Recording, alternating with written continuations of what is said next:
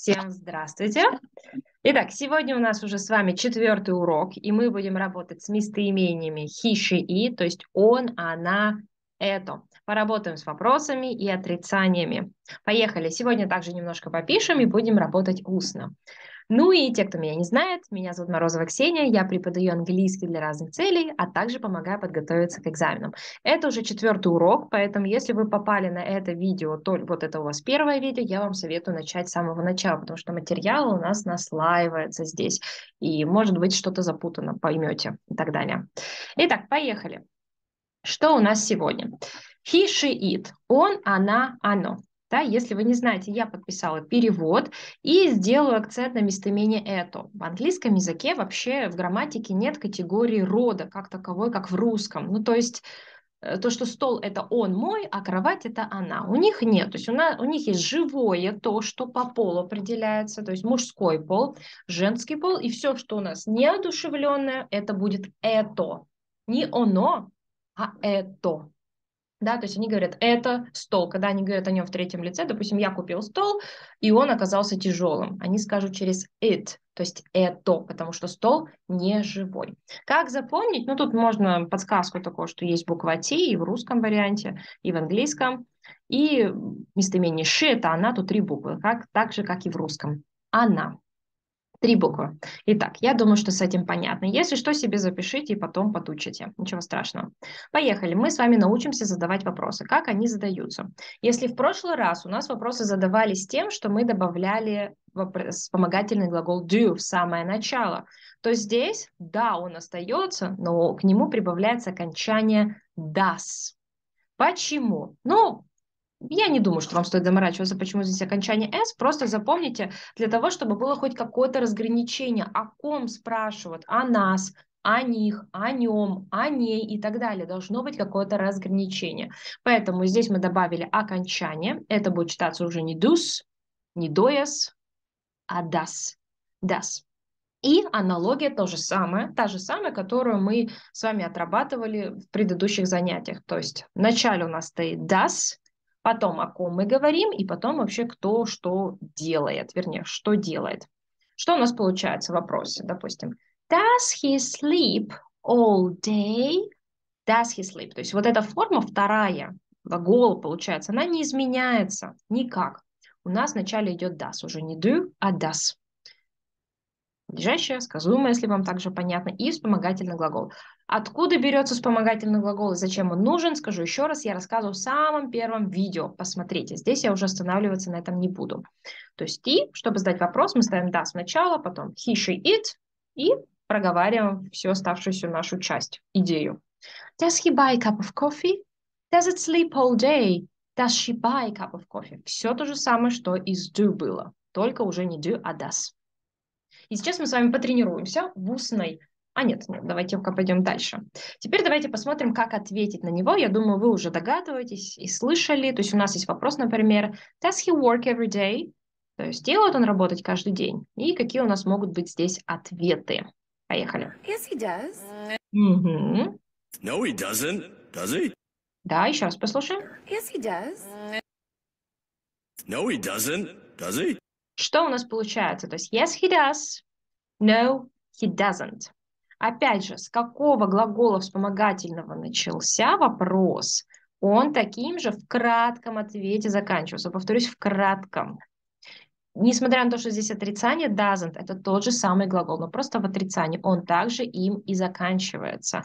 Делает он работать каждый день? Да, он делает. Либо нет, не делает. Вот это как дословно может переводиться.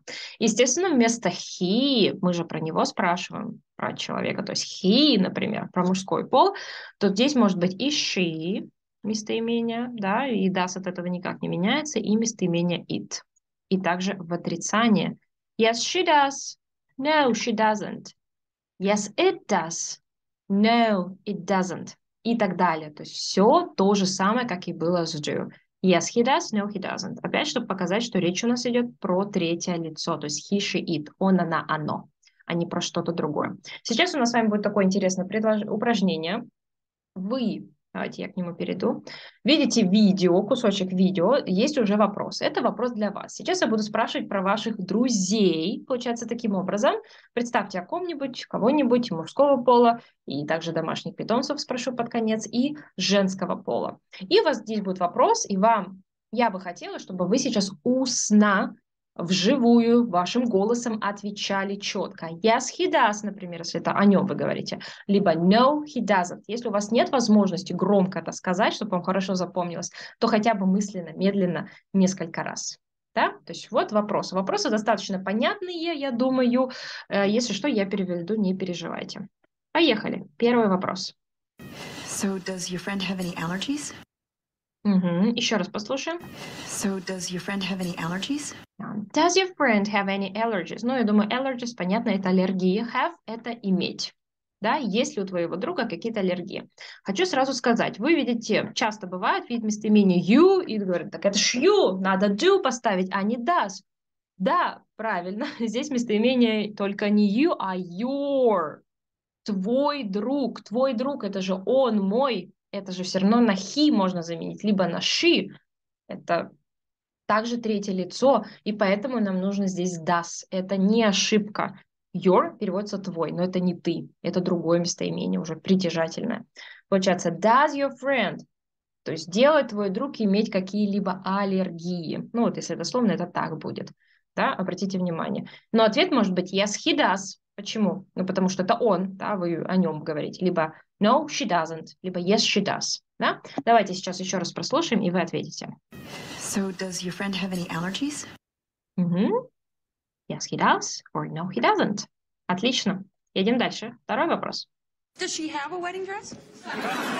Угу. One more time. Does she have a wedding dress? Угу. Does she? Тут уже спрашиваю я как бы о друге. Третье, о, о подруге, подруге, получается, женского пола.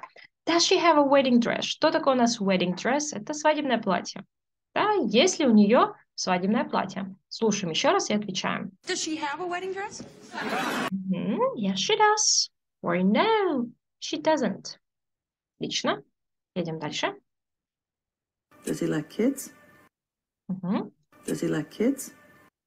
Kids – это дети. Kids – это у нас дети, like – любить. Тут уже о друге вашего мужского рода, пола. Does he like kids? Он любит детей. Да? Отвечаем. Yes, he does. Либо no, he doesn't. Does he like kids? Угу. Good. Едем дальше. Does your friend drive? Угу. Does your friend drive? Отлично. Does your friend drive? Drive – это водить машину. Не только машину, а вообще водить за рулем, ездить за рулем. Твой друг ездит за рулем? Отвечаем либо yes, he, либо yes, she. Does your friend drive? Угу. Отлично. И последнее. Тут мы поговорим про ваших питомцев. А Вообще питомцы изначально тоже как бы как считаются в грамматике неодушевленные, поэтому часто они говорят через местоимение it, как, как кошки, собаки и вообще животные и цветы то же самое. Здесь давайте поговорим о питомцах. Если нет ваших, представьте какой-нибудь, чей-то и так далее, и потренируем местоимение it. Угу.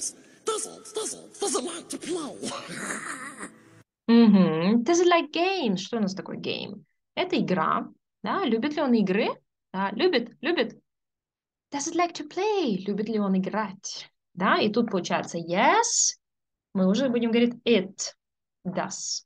Либо no, it doesn't. Да, тут уже про местоимение it. Либо можете вместо it поставить my cat, либо my dog. Тоже будет нормально. Слушаем еще раз и попытайтесь ответить. Угу. Yes, it does. Or no, he doesn't. Молодцы. Я думаю, систему вы поняли. Идем дальше. Теперь давайте потренируем отрицание еще раз. Да? То есть, как вы уже слышали, отрицание будет doesn't. Уже не don't, а doesn't. Но положение его то же самое. То есть вначале мы говорим, кто делает, потом doesn't, как переводится частица не, а потом уже идет у нас остальная часть предложения без каких-либо изменений, вот как написано в словаре, глагол или что-то еще, вот глагол, вернее, написано, все оставшиеся формы, они также идут, мы ничего не меняем. Это прелесть английского языка. Теперь давайте потренируемся в письменной форме. Я вам также буду диктовать предложения, попробуйте их перевести. Если нет возможности писать, то тогда проговаривайте устно. в отрицании будут все предложения. Первое предложение. Он не работает. Он не работает. Как это будет сказать? Ну, он не работает каждый день, например. Второе. Она не знает. Она не знает. Угу. Третье. Он не смотрит видео. Он не смотрит видео. Угу. Четвертое. Он не ходит в парк. Он не ходит в парк. Пятое. Она не смотрит видео. Она не смотрит видео. Угу. И шестое. Это не работает. Это не работает. Угу. Если вам нужно побольше времени, поставьте на паузу, а мы идем проверять. Да? То есть та же самая система. Мы говорим he, she, it у нас в начале кто? Вместо he, she, it может быть my cat, my friend, my colleague, my mother, my father и так далее. То есть любой человек, любой какой-то предмет, объект, субъект в третьем лице. Он, она, либо это. И мы ставим doesn't. Везде, я посмотрите, вам выделила doesn't.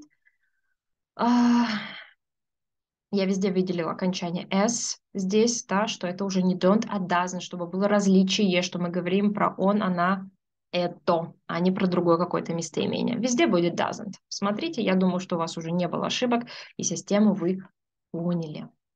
Угу. Отлично. Perfect. Ну и переходим, этот урок был достаточно короткий, переходим к домашнему заданию. А, так как вам уже система это понятна, поэтому вам хватит всего лишь трех дней, даже двух. Files, домашкой будет также под видео по ссылке. Что у вас будет? Вам также будут даны фразы, но вам с ними нужно будет задать вопрос и ответить кратко. То есть does he что-то там? Yes, he does. No, he doesn't. То есть вам нужно будет потренировать краткие ответы. Вот это будет выглядеть так. Про кого нужно задать вопрос, будет у вас написано в листе. То есть does your friend, например, да, про друга.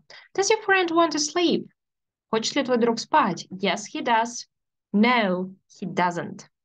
У нас получается нет, не хочет. И здесь же, чтобы сразу отработать отрицательную форму, отрицательную форму, мы, вы второй строчкой прописываете he doesn't want to sleep. То есть сначала вы сказали no, he doesn't в кратком таком варианте, а потом в полном нет, он не хочет спать. Напоминаю, что мы ставим doesn't, а потом у нас ничего не меняя, Э, ставится та же самая форма глагола. Та же самая.